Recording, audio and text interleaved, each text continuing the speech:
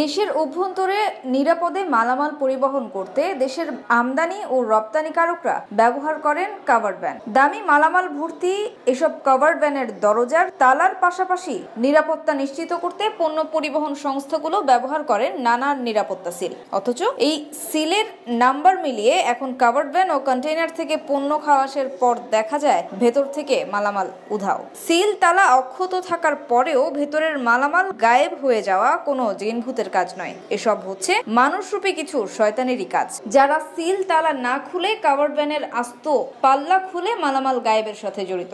চলতি মাসের এক তারিখ চট্টগ্রাম বন্দরের সিসিটি জেটি থেকে তিনটি কাভার্ড ভ্যান ভর্তি আমদানি করা মালামাল টঙ্গী গাজীপুরে পৌঁছানোর পর দেখা যায়, একটি কাভার্ড ভ্যানের মালামাল অক্ষত থাকলেও অপর দুটি কাভার্ড ভ্যান থেকে বিপুল পরিমাণ মালামাল উধাও। এই বিষয়ে প্রতিষ্ঠানটির মালিক চট্টগ্রামের সদরঘাট থানার একটি অভিযোগ দায়েরের পর থানা পুলিশের তৎপরতায় চুরি যাওয়া মালামালের উদ্ধারের পাশাপাশি আটক হয় চোর চক্রের সেই তিন সদস্য।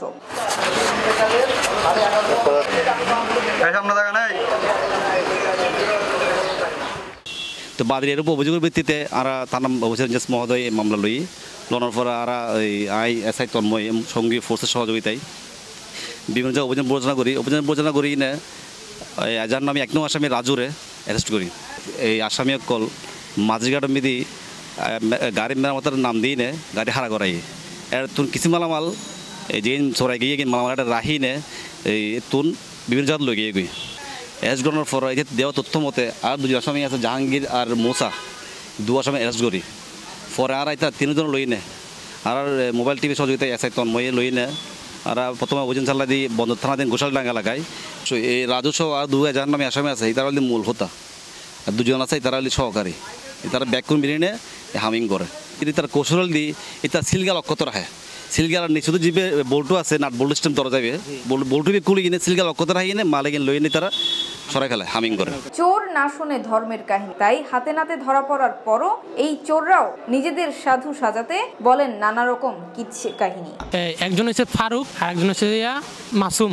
ওরা দুজন আইসা আমার দোকানে ঠেট দিয়ে বলতেছে আমি এই মালগুলা ওদের মানে জায়গা জায়গা ফোসা না দিলে আমাকে এখানে ব্যবসা করতে দিবে না।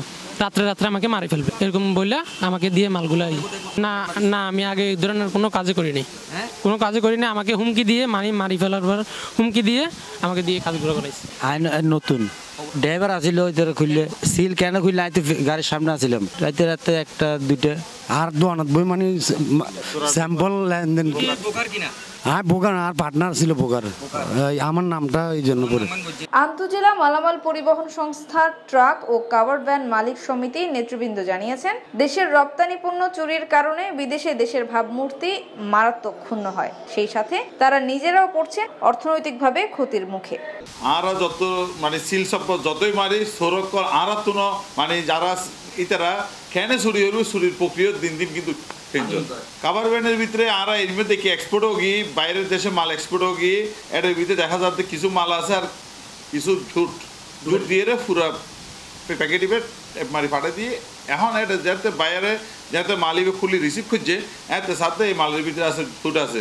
কিছু কিছু ক্ষেত্রে ইটো ভিতরে এক্ষেত্রে আরা আর বাংলাদেশের যে গো গার্মেন্ট সেক্টরের ভিতরে যে উগো আসলি কিন্তু নষ্ট এই মাল ইম্পোর্টের মাল হন এক্সপোর্টের মাল হন, জিগিনের লগে গডফাদার যারা জড়িত, চোরের গডফাদার কল ইতারা সমূলের উৎপাদন ন হরিলে আর আর এই ব্যবসা হন, আর আর পক্ষে চট্টগ্রাম বন্দর কেন্দ্রিক মালামাল চোর চক্রের বিরুদ্ধে নিরলসভাবে কাজ করছে চট্টগ্রাম মেট্রোপলিটন পুলিশের গোয়েন্দা বিভাগ। মালামাল চুরি রোধ করতে আইন শৃঙ্খলা বাহিনীর পাশাপাশি পণ্য পরিবহন সংস্থাগুলোকে প্রযুক্তি ব্যবহারে পরামর্শ দেন চট্টগ্রাম মেট্রোপলিটন পুলিশের এই চৌকস কর্মকর্তা।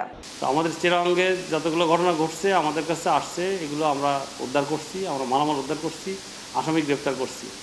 যে গাড়িগুলো পণ্য পরিবহন করবে, আমি মনে করি দেশব্যাপী গাড়ি এনলিস্টেড করতে পারে। যে এই এনলিস্টেড গাড়ির বাইরে কোনো গাড়ি পণ্য পরিবহন করতে পারবে না।